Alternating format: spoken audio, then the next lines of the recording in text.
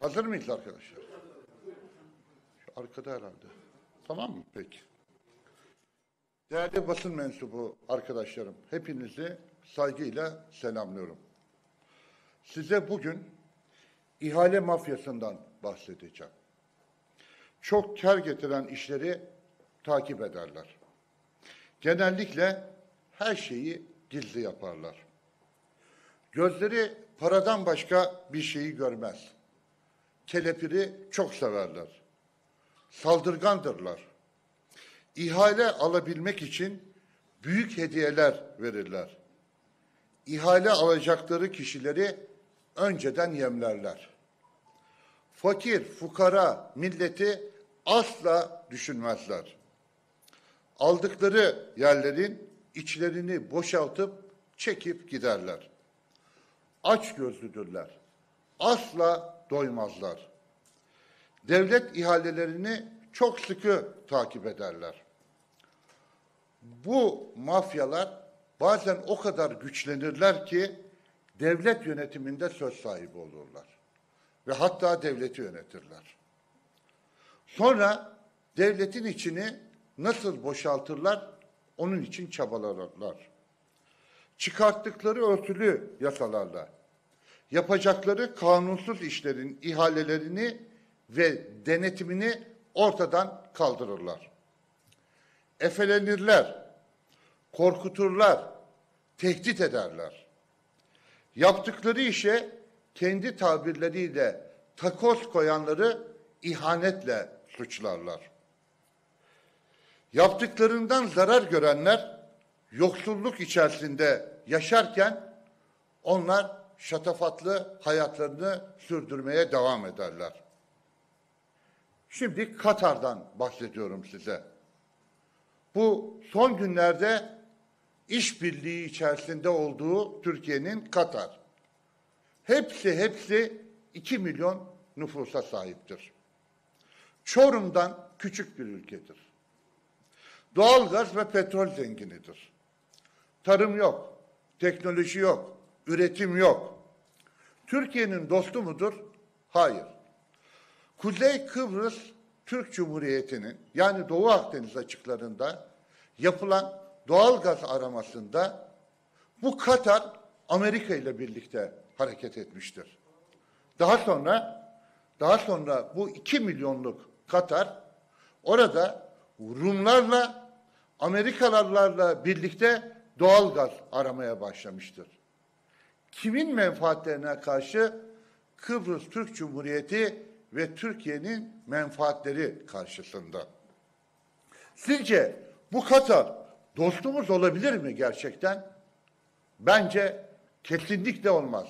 Hatta böyle dost düşman başına. Bizim olmaz ama birilerinin dostu.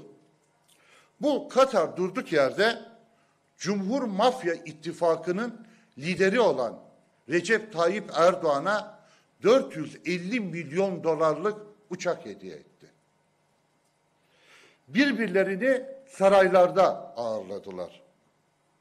Türkiye Cumhur Mafya İttifakı tarafından 18 yıldan beri tek başına yönetiliyor. Türkiye'nin varlığı olan şirketlerin yüzde sekseni denetimsiz bir şekilde bu ittifak tarafından elden çıkartılmıştır. Örnek Telekom. Şirketin içi boşaltıldı. Devlet aklı kendi ülkelerinin stratejik değerlerini yani ekonomi de yani savunmada, sanayide stratejik alanları yabancılara peşkeş çekmez. Ne demiştik? Söz konusu para olunca bunların gözü hiçbir şeyi görmez demiştik. Daha sonra daha sonra devleti hızlı yönetmek için cumhur mafya sistemini getirelim diye milletin karşısına geçtiler. Dediklerini yaptılar mı? Evet, yaptılar. Üstelik de milletin oyuyla yetkiyi aldılar. Hazinenin başına acilen Cumhur Mafya İttifakı'nın lideri olan kişinin damadını bakan olarak atadılar. Ve arkasından tezgahı kurmaya başladılar. Varlık fonu kuruldu.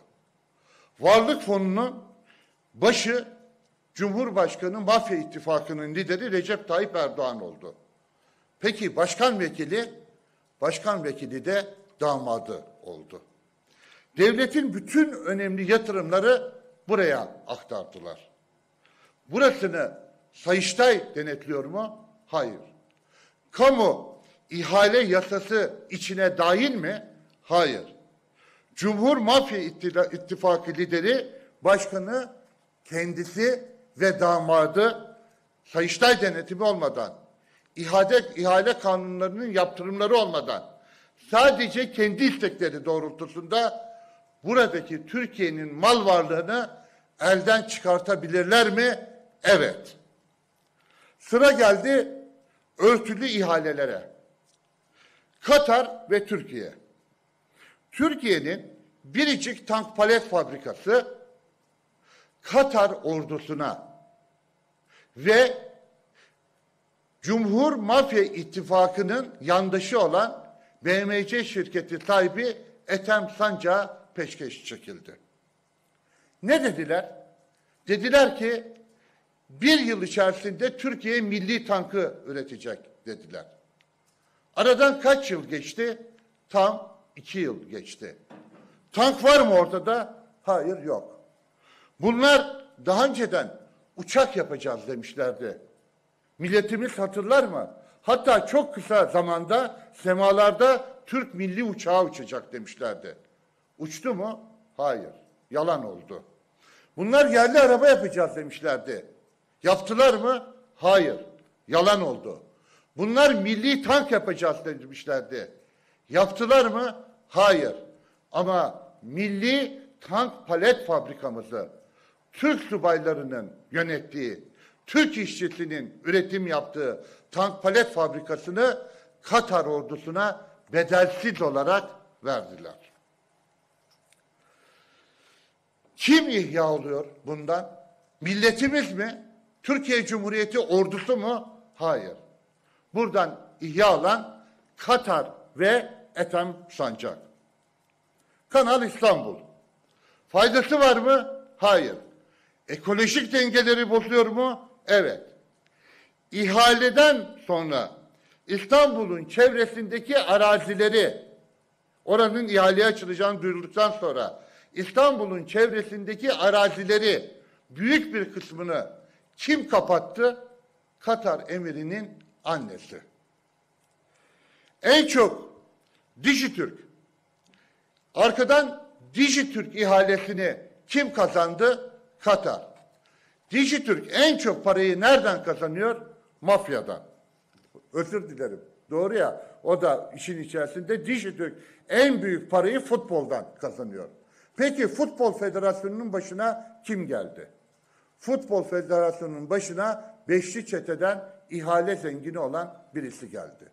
Önceki başkan, önceki başkan Türkiye'nin yandaş medyasının tümünün sahibi. Cumhur Mafya İttifakı'nın başı belli. Halkın haber alacağı kaynakların sahibi kim? Belli. İhaleleri alan işbirlikçi, çete ve devlet kim? Belli. Yargı var mı? Yok. Sindirme tehdit var mı? Var.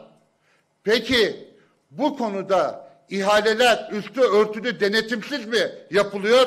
Evet. Sıra borsaya geldi. Borsanın başına Hakan Atilla geçirildi. Kim bu Hakan Atilla? Halkbank'ın eski genel müdür yardımcısı. Kimle ilişkide? Bakanların önüne yattığı altın kaçakçısı Amerika'da yargılanan Rıza Zarrab'la ilişkide. Nerede yargılandılar birlikte? Amerika'da yargılandılar. Şimdi Katar'a ne satıldı? İstanbul borsasının yüzde onu. Bu yüzde onun sahibi kimdi? Avrupa'daki yatırımcılar. Onlar ayrıldı. Kim aldı? Katar'ın. Bu, hak- bu hakkı kim aldı? Katar aldı. Peki kaça aldı? Biliniyor mu? Hayır. Kaça verdiler? Biliniyor mu? Hayır. Veren Cumhur Mafya İttifakı. Aracı kurum Varlık Fonu. Taraflar Hakan Atilla Katar. Başka ne verildi? Limanlarımız. Başka Haliç'in Altın Boynuz Projesi. Başka işbirlikçi anlaşmalar. Teknolojisi olmayan, üretimi olmayan Katarlılar bu ihaleleri nasıl aldılar? Hangi gerekçeyle aldılar? Ve bu bu ihalelere başka katılmak isteyen oldu mu? Onlarla görüşüldü mü? Türkiye'nin menfaati görüşüldü mü? Hayır. Mafya ilişkilerinde böyle şeyler yoktur. Bu ilişkilerde bir, para vardır. İki, örtbas vardır. Üç, kimseyi haberdar etmezler. Eğer devleti ele geçirdilerse o zaman meclis bunun dışındadır. Muhalefet bunun dışındadır. Millet bunun dışındadır. Kaça aldıklarını, kaça sattıklarını denetleyen kurumlar bunun dışındadır. Şimdi Türkiye'yi böyle bir Cumhur Mafya ittifakı yönetiyor. Taraflar ve yöneticiler belli. İçi boşaltılan Türkiye Cumhuriyeti'nin 100 yıllık birikimleri. Yoksullaşan milletimiz. Çaresiz kalan milletimiz. Cumhur Mafya İttifakı'nın başındaki kişi. Milletimize ne diyor, ne tavsiye ediyor? Dişinizi sıkın diyor. Ne zamana kadar? Ben bu işleri bitirene kadar. Ne zamana kadar? Şimdi damadım gitti, onu devreden çıkarttım ama daha bitiremediğim ihaleler var. O ihalelerin tamamı bitene kadar. Kimin çıkarına? Benim çıkarıma. Ben nerede yaşıyorum? Sarayda. Kimlerle işbirliği yapıyorum? Saraydakilerle işbirliği yapıyorum. Sarayda yaşayan devletlerle işbirliği yapıyorum. Peki içini boşalttığım ülkenin adı ne? Türkiye. Peki milleti ne durumda? Milleti fakr zaruret içerisinde eziliyor. Bunun hesabı sorulacak mı? Milletimizin önünde yemin ederek söylüyoruz ki Cumhuriyet Halk Partisi er ya da geç Cumhuriyetin kurucu ve kurtuluşun öncüsü bir siyasi parti olarak bunun hesabını kesinlikle soracaktır. Devletin içini boşaltanları, mafya ile birlikte hareket edenleri, Türkiye Cumhuriyeti'nin varlığı ve birikimlerini yargının denetiminden, Sayıştay'ın denetiminden, meclisin denetiminden kaçıranları, yandaşları ile birlikte zenginlik içerisindeyken milleti yoksulluk içerisine itenleri er ya da geç Cumhuriyet Halk Partisi demokrasi içerisinde hukuk ve adalet anlayışı içerisinde bunun hesabını soracaktır. Bir gün yönettiğiniz ve idare ettiğinizi sandığınız bu yargı. Bir gün ele geçirdiğinizi sandığınız devletin kurumları. Tekrar güçlü, layık parlamenter sistemle inşa edilerek. Tekrar milletimizin varlığına ve bütünlüğüne dönüştürülecek, devletin kurumları haline getirilecek, mafyadan arındırılacak ve bunu yapanlar gerçek Türkiye Cumhuriyeti yargısının önüne çıkartılacaktır. Kaçacak yeriniz yok. Türkiye'ye çok büyük zarar veriyorsunuz. Üstelik bunu milletin gözünün içine baka baka veriyorsunuz. O yüzden bugünden bir kere daha sesleniyoruz. Milletimizin bilgisine sunuyoruz. Bu ilişki Türkiye'yi yok ediyor. Bu ilişkiye dur demek gerekiyor. Ve bu ilişki içerisinde olan Cumhur Mafya İttifakı'nın başta lideri, yandaşları derhal devlet yönetiminden el çekmeliler. İstifa etmeliler ya da bu ülkeyi seçime göndermeliler, götürmeliler. Çünkü bu millet 18 yıl içerisinde size inandı, güvendi, yetki verdi. Siz onların varlıklarını yok ettiniz. Mafya ilişkileri içerisindeki örtülü ihalelerle elden çıkarttınız. Ülkeyi itibarsız hale getirdiniz. Milletimizi yoksullaştırdınız. Şimdi söz sahibi millette olmalı. Biz bunun için mücadele etmeye sonuna kadar devam edeceğiz. Türkiye'nin kaynaklarının, insan gücünün, devlet birikiminin tekrar Türkiye'yi inşa edecek gücü olduğunu biz biliyoruz. Çünkü biz dünün siyasi partisi değiliz. Biz Cumhuriyet Halk Partisiyiz.